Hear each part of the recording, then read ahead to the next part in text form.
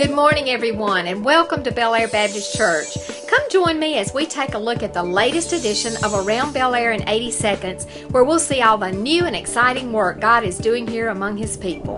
November 16th at noon, Bel Aire Baptist seniors will celebrate Thanksgiving at their monthly luncheon here at the church. All senior adults are invited to bring their favorite Thanksgiving dish and come enjoy the fantastic food and fellowship. During the month of November, Bel Aire is encouraging its families to pray, decide, and commit to give a Thanksgiving gift toward the acquisition of the 700 chairs needed for our new worship center. Each chair costs $70, and we would like to encourage each family to prayerfully consider purchasing enough chairs for their family and one or more to be used by a future guest. Cards of commitment will be available for three weeks, and your gifts will be collected during the Sunday evening service on November 22nd. The goal of Bel Aire Baptist Church's benevolence ministry is to help church members in difficult situations with unexpected hardship. When a member of the church family has a need, the committee votes on the request based on the circumstances and availability of funds. In the past, assistance has been given for necessities such as medical expenses, utility bills, and other essentials. The committee also finances and collects non perishables for the annual Thanksgiving and Christmas food baskets.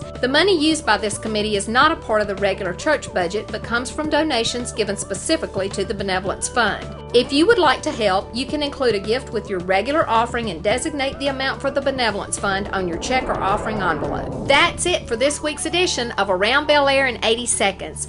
Be sure to stay tuned into the website so that you can find numerous opportunities to serve God here at Bel Aire.